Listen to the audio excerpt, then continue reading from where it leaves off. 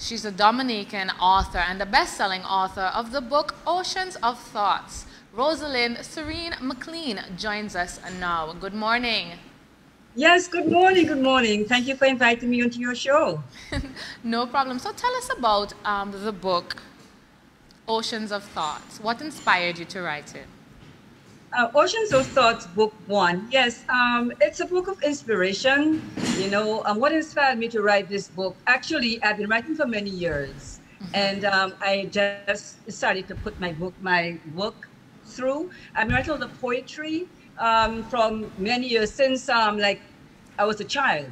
You know, I wrote a lot of the poetry, and I just kept it and um, kept it safe so um, through the, the pandemic issue that we are having, we're experiencing, I um, got the inspiration to just at least put the book somewhere, put my work in somewhere. So I looked and researched and found someone who helped me to put it in the book.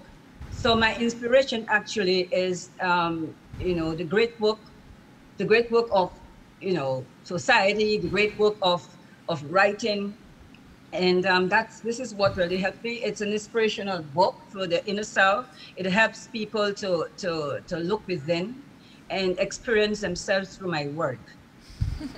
Great. Um, I know that you are also a dancer and you've traveled the world um, doing ballet dancing. How do you how do you balance that, being a writer and also being an accomplished dancer?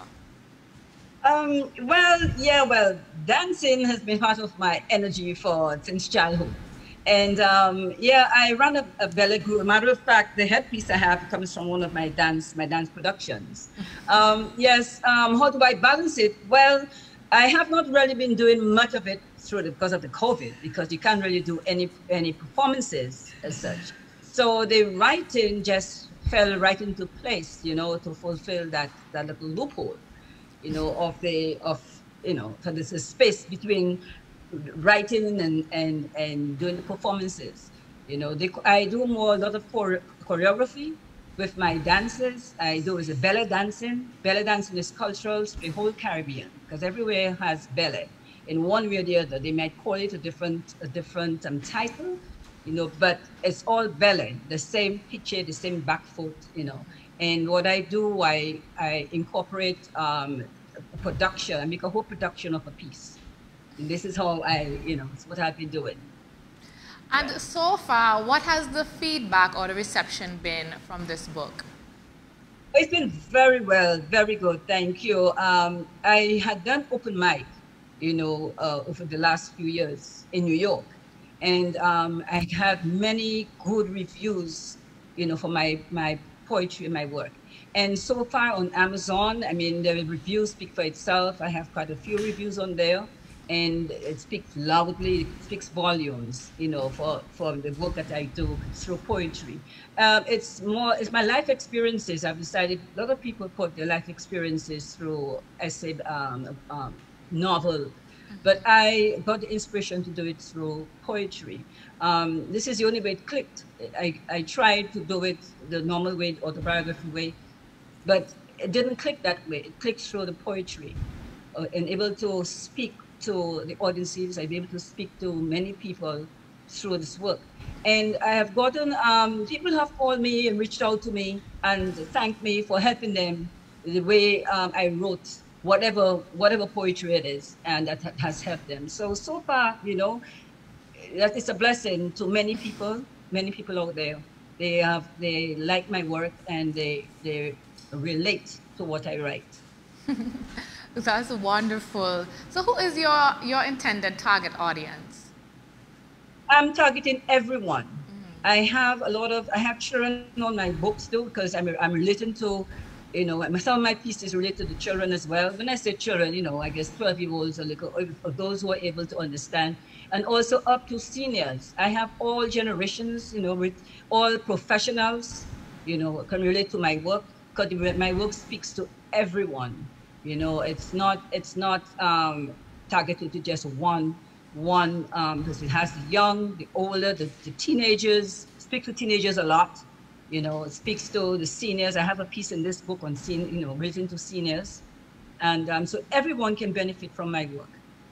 Yeah. Great. So where can we purchase this book? Where can we find Oceans of Thoughts? Oceans of Thoughts can be purchased on Amazon. You know, it's um, very reasonably priced. You know, it's um, it's on Amazon. You go into the Amazon Oceans of Thoughts link, and um, you will see. You know, I have also the Kindle, and then the ebook for those who are not able to to get the the paperback version. You could also read it through the Kindle. So it's on Amazon for right now. In Dominica, I have sent it to the bookstores in Dominica, to, to Jay's bookstore. I would love to send it to the bookstores or to the libraries in Antigua or over the Caribbean. So I would definitely need that connection to be able to send it to the people out there because it's, it's a book for everybody, all through the Caribbean, uh, you know, everywhere. You know, people can benefit on, my work.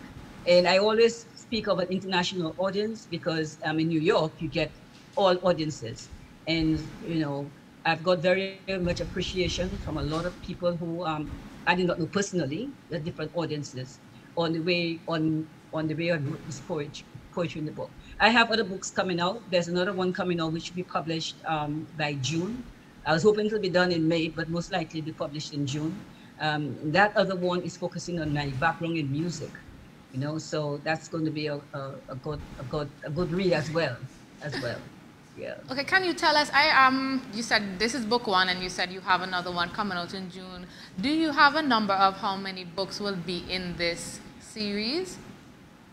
I do not like to put a, a number on my work, but I know it's going to be a few because um, this one coming up, this one is uh, a lot of my, I wrote about my sister who passed away, the experiences and emotions, you know, around, around her and I wrote about experiences at my, my school when I went to grade school as a child.